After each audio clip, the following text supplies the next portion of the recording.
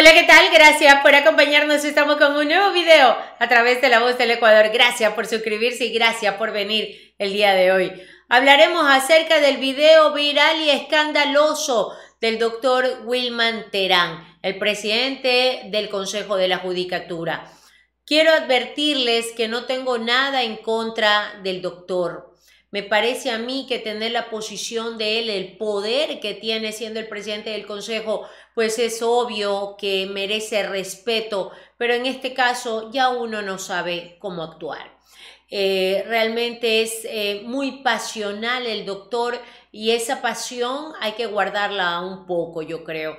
Eh, desatinado, muchos lo han llamado así, controversial, eh, farandulero, de todo. Hasta le han dado categoría como mejor actor, pero de reparto. Veamos al doctor Wilson, Wilman Terán.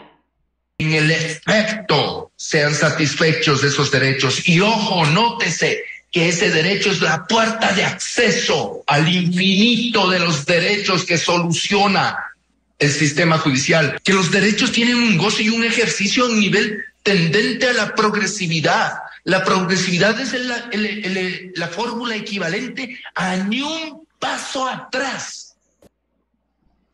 Así de pasional han sido las interpretaciones del doctor eh, Wilman Terán, más que controversial, ha sido criticadísimo. Eh, miren, lo señalan, lo, le tiran la piedra.